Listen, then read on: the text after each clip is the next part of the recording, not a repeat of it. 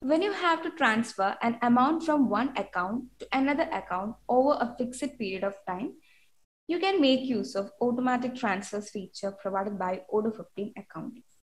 So you can find that from uh, an accounting. Here we can see. So you can view the uh, list of existing automatic transfers and you can create a new one uh, by clicking on the create button. You can provide the name of the automatic transfer like uh, monthly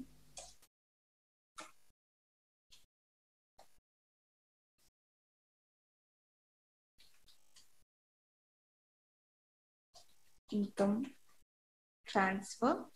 And here we can set the period of the automatic transfer, a start date and end date, and you can choose a journal.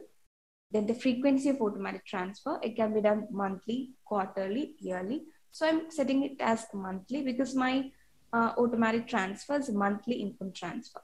And here below, you can add the origin accounts and automatic automated transfer.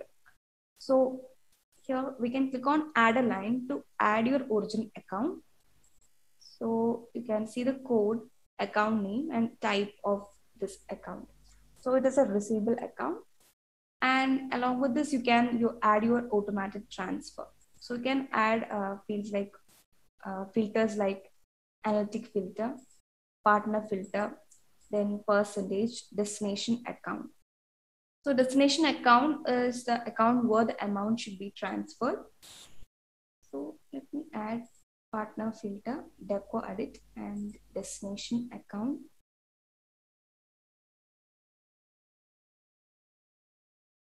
It's local sales. Now save this and you can see an option to activate this automatic transfer. So we can click on activate. So when you activate this automatic transfer, you can see from disabled, this is the move to running stage. And right now we have zero transfers. So when you click on compute transfer, you can see uh, we have uh, computed some entries, like some transfers are computed. And here we can find uh, when you open one, you can see the reference, uh, then accounting date, then journal and here we can find the journal items. Like you can see this is our receivable account debtors so that as a credit. And uh, on local sales that is our income account you can see a debit. So we can post this entry uh, for that you can click on this post. So that is done. Same way we have another entry here we can post it from here. So that's all about automatic transfers in Odoo 15 accounting.